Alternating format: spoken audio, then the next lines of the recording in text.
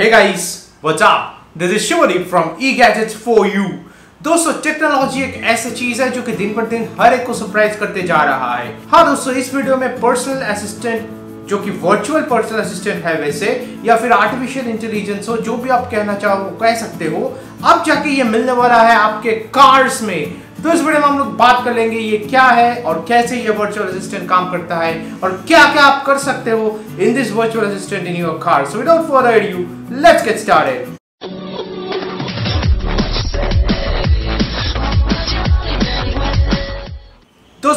पता ही होगा कि असिस्टेंट मतलब वो इंसान होता है जो आपके हर एक काम को और आसान बना सकता है, हर एक डेली लाइफ को आसान बना सकता है। आपके लिए सब सब्सिडियरीज काम जो कि वो ऑलरेडी कर सकता है। इसमें से दोस्तों वर्चुअल असिस्टेंट एक नया चीज़ है in digital era and the digital world also and of course अब सभी को पता है कि आर्टिफिशियल इंटेलिजेंस अगर की अगर बात करें तो गूगल असिस्टेंट ये सबसे बड़ा एग्ज़ाम्पल है आपके स्मार्टफोन्स में, जो कि आपकी वर्चुअल असिस्टेंट है दोस्तों। अब दोस्तों कार्स एक शॉकिंग चीज़ होता है हर एक के लिए।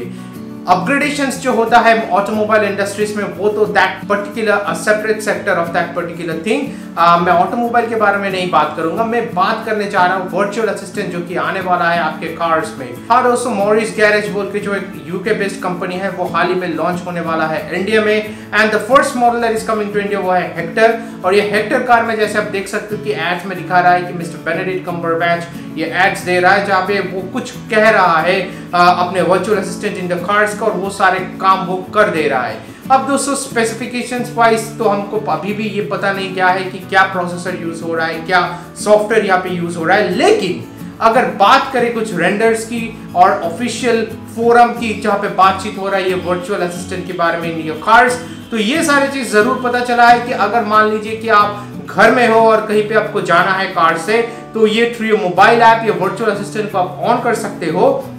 और उसको कह सकते हो कि आपके इंजन को स्टार्ट करने के लिए और इसके साथ साथ एसी को स्टार्ट कर देने के लिए। क्योंकि आप सभी को पता है कि खास करके इंडिया में जब ये समर टाइम जैसे कि अब चल रहा है बहुत ही गर्मी होता है एंड ऑब्वियसली आपके कार के भीतर भी बहुत ही सफोकेटेड फीलिंग और हीट की वजह से बहुत ही एक अनकंफर्टेबल फीलिंग होता है जब आप पहली दफ़ा कार में घुसते हो। तो इसमें से अगर आप पहले से कुछ ही मिनट पहले से अगर आपके एसी को ऑन कर सकते हो आपके कार्स में और एसी अगर चला, चलता है थ्रू योर वर्चुअल असिस्टेंट तो फिर आप जब आप कार में जाओगे तो हाँ आपको वो uncomfortable atmosphere in the car आपको नहीं लगेगा। बेहतरीन चीज़ है दोस्तों। सिर्फ़ इसी में लिमिटेड नहीं है। जैसे एमजी हेक्टर कार में वो लोग दिखा रहा है कि अगर सनरूफ है वहाँ पे तो वर्चुअल असिस्टेंट वो बोल रहे हैं कि सनरूफ ओपन करने के लिए तो वो लोग वो भी वो ओपन कर दे रहा है। और ऑब्वियसली जैसे आप सभी को पता है कि हाँ एंड्रॉयड ऑटो और एप्पल कार जो आ रहा, चुका है already in your personal vehicles तो ये जो असिस्टेंट होने वाला है, इसमें आपको एप्पल कार या फिर एंड्रॉयड ऑटो को कनेक्शन करना ज़रूरी नहीं है दोस्तों।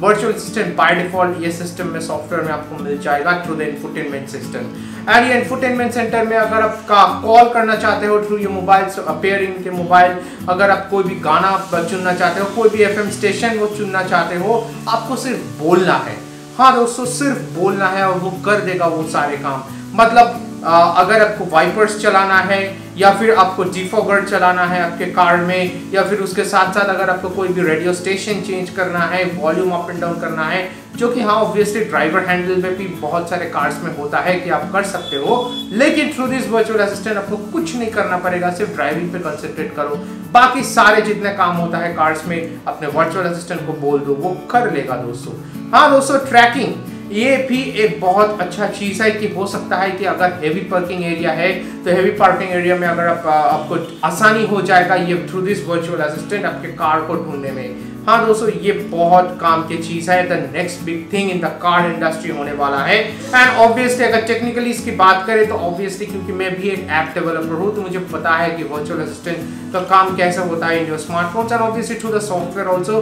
we know the thing अगर हम सिंपल टर्म्स में बात करें तो ऑब्वियसली ये ऐसा है कि इसमें फीड्स दिया गया जाएगा कि हर एक काम के लिए, हर एक सिनेरियोस जो पॉसिबल सिनेरियोस है आपके कार्स में, हर एक पॉसिबल सिनेरियोस का एक फ़ीड दिया जाएगा थ्रू दैट पर्टिकुलर सॉफ्टवेयर और जब आपके स्पीच वॉइस रिकॉग्निशन आपको पहचानेगा, ये पर्टिकुलर वर्चुअल असिस्टेंट पहले दफ़ा आपको ऑब्वियसली वॉइस रिकॉग्नाइज कराना पड़ेगा। जैसे आपको कराना होता है गूगल असिस्टेंट में तो हाँ उसी लॉजिक को फॉलो करते हुए दोस्तों, ये आपको वॉइस को जब ये रिकॉग्नाइज करेगा पहचानने के बाद, जितना सारा काम है वो पर्टिकुलर कार में, वो तो ऑलरेडी फ़ीड दे दे दिया है अपने वो असिस्टेंट को virtual assistant through the software experience तो आप जब कभी भी कोई भी फ़ीड को ऑन करने ऑफ़ करने बोलोगे तो वो वो पर्टिकुलर कमांड को ऑन ऑफ़ का सिग्नल भेजेगा and particular that particular thing वो काम हो जाएगा आपके कार्स में. तो दोस्तों obviously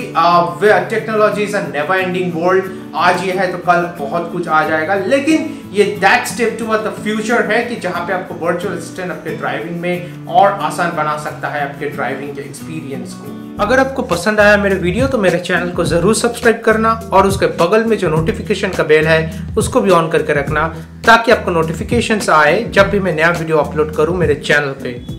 तो होप सो ये वीडियो हेल्पफुल रहा आप सभी के लिए। जितना हो सके इस वीडियो को लाइक कीजिए और शेयर कीजिए सभी के साथ, क्योंकि नॉलेज और इन्फॉर्मेशन सभी के साथ बढ़ना चाहिए। So that's for big guys bye for now